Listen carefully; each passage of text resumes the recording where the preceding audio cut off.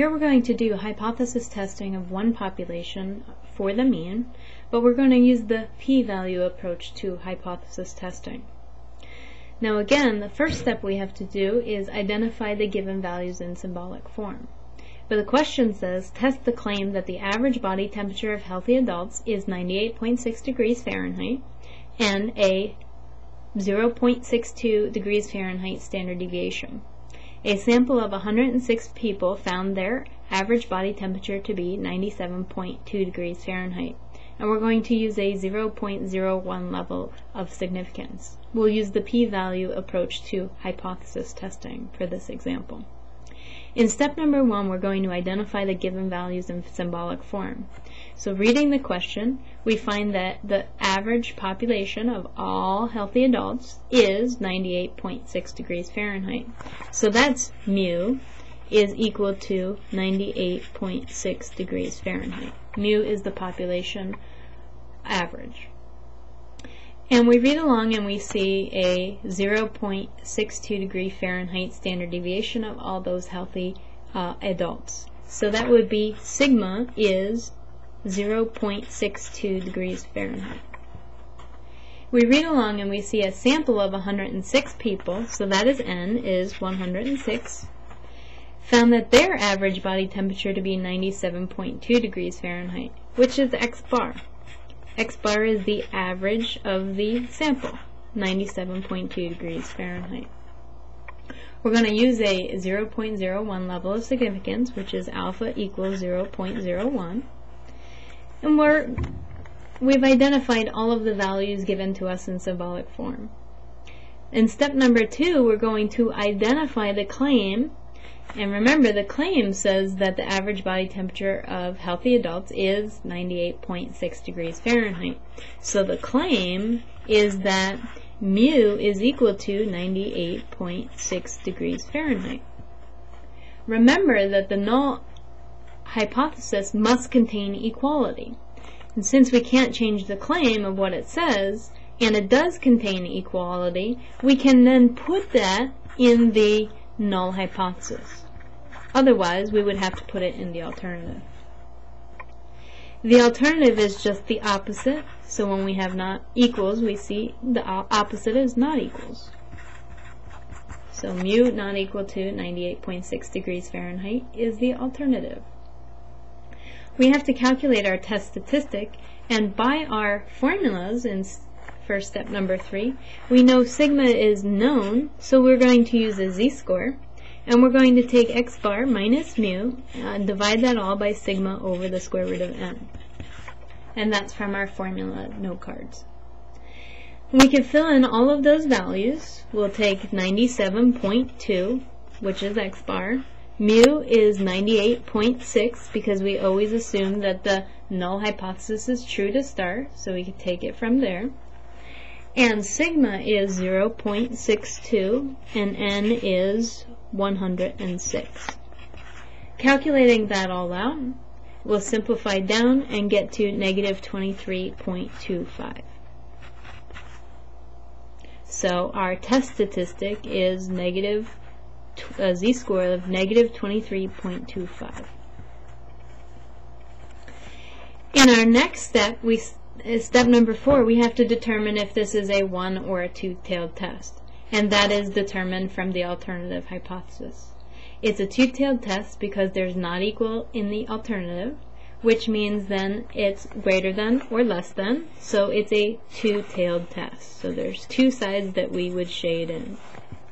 Two two-tailed test.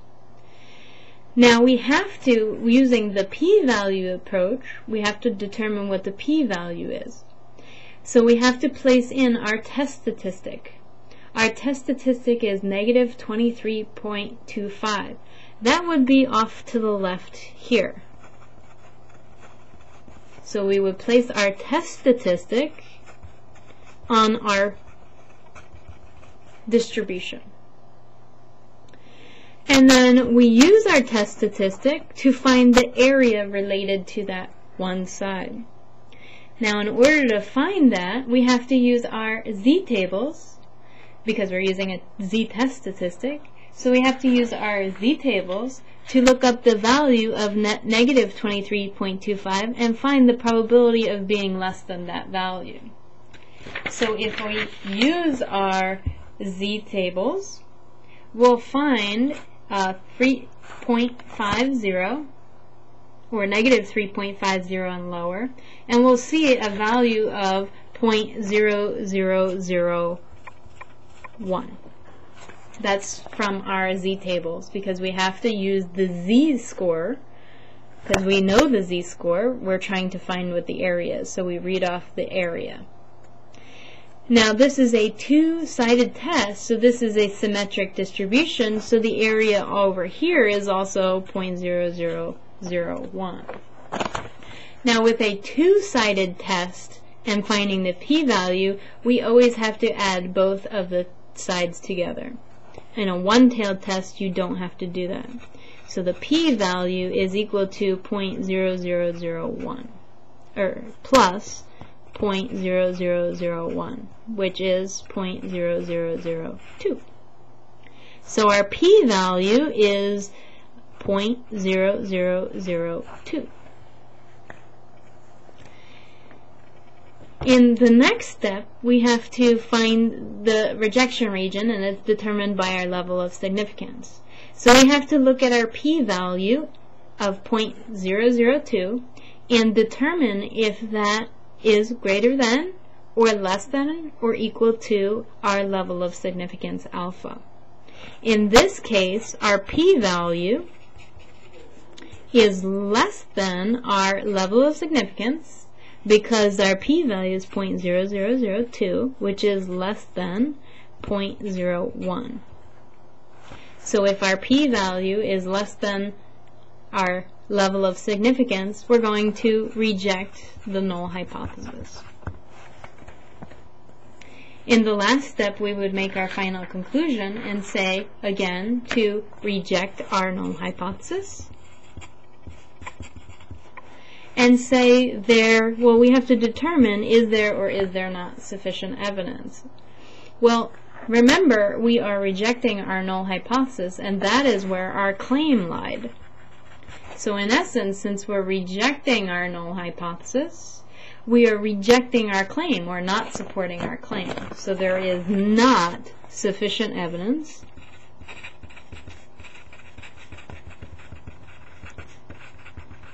at the alpha level of 0.01 uh, to suggest And then we have to suggest we, that the claim, just restate the claim that the average body temperature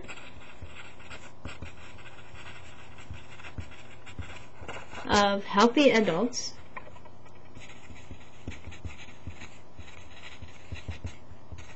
is 98.6 degrees Fahrenheit. So the Traditional hypothesis testing and the p-value approach are pretty much identical. They're, the first three steps are the same. We veer off at step number four. On step number five, we come back to make the same conclusion. And step number six, we make the same conclusion. It is two different methods to solve a any problem. The p-value test is, or p-value approach to hypothesis testing is easier to do with uh, z-test statistics, or the z-distribution. Much more difficult to do with a t or a chi-squared distribution, as we'll learn later.